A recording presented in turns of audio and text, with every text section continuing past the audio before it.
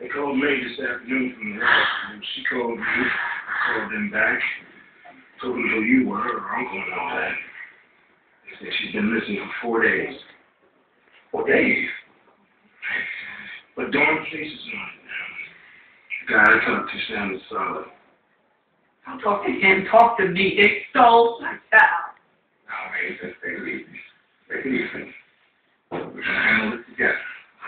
Blood pressure. I need you to relax.